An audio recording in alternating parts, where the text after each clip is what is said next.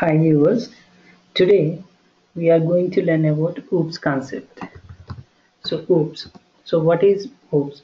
Nothing but it is object oriented programming language. So we can call it as object oriented programming language.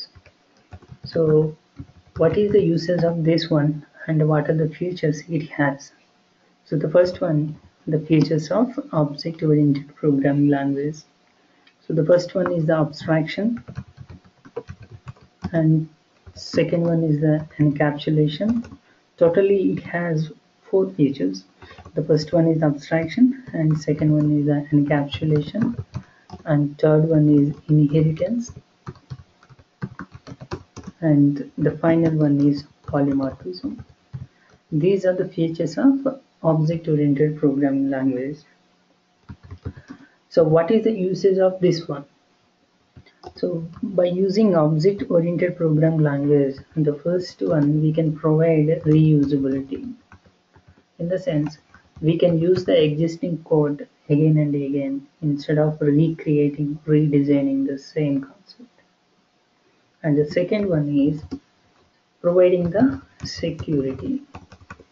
So providing the security so how we can achieve these two we are going to learn one by one.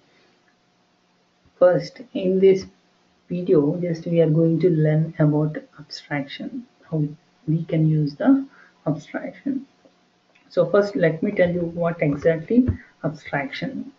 So abstraction is nothing but hiding the implementation. Hiding the implementation is known as abstraction. What is hiding See here, so far we have seen so many methods like console.read, console.write line, right? So here by using this method, you can get the output. So if you are using the write line method, it prints a message on the screen. If you are using the read line method, it reads from a particular input from the uh, screen, right? So by using this, we can get the output. But how they implement it?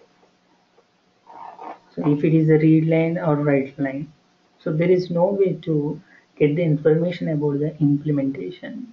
So that is nothing but hiding the implementation. So see here when we are using the read line method so there is a mechanism. He is reading the value and he is storing in some variable think like that. And he is returning the value to value to us. But all this information he is going to hide that is nothing but abstraction. So this abstraction we can provide two types of abstraction. The first one is the members or field abstraction we can call it as. So we can say members or fields. And second one is method method abstraction so if you are hiding the information about a method, then it is known as method abstraction. If you are going to hide the information about a fields or variables, then it is known as members or fields abstraction. So we do this one practically for that I'm creating a new class here. So now right click on the project and add a class now here I'm taking the class name as abstraction example.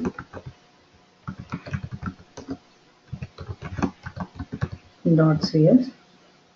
As usual just I'm adding your main method here. Static void then main. So now for example here I'm creating an object to this class. Any class. Here we have a class nothing but 10 so I'm creating an object to the class 10 how we are creating 10 object equal to new 10 right? Now otherwise just let me create a new class for you to avoid confuse. Just delete this. Now I'm taking here class. Class name is then text. Example right? Now here took two variables. So int a equal to 10 and then b equal to 15 this. Now here I'm taking a public method public void. This is do it okay? And I'm taking another private method also void addition. No this is now here what I'm doing. I'm printing a message. Like addition is we are getting from a plus b. Yes. a plus b. Now assume that this class is implemented by someone and just you are using here in the sense you are creating an object to the class.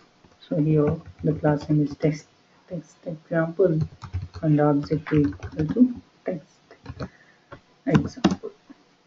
Now when you press object dot you can see only the public members right? You are calling the do it method and to stay back the screen you are using here console dot read or read line.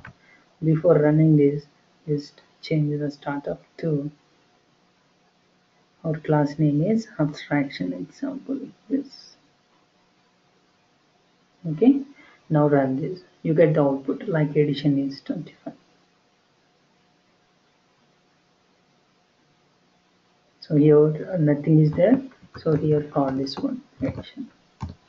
Now this time you can get the output like addition is 25 but now if you observe think this class was implemented by someone and you know the only the name of the class now we are using that class. So first what we need to do we need to create an object. So we created an object. Now with the with that object we have only one method that is nothing but do it method. But internally once you go to the respective method in the sense here what we are doing we are calling another method from the do it method. In the same way we are using here two variables. In the sense we are hiding the implementation of this method and these variables. So far maybe we have seen this logic so many times but the concept is this is known as abstraction. So hiding the implementation. So what is the necessary information? Those information only we are sharing to the end user end user in the sense here who is using that class so the other things like this addition method and these variables we are not sharing any information to that user that is nothing but abstraction so once again, very simple, what is abstraction? Nothing but hiding the implementation is known as abstraction.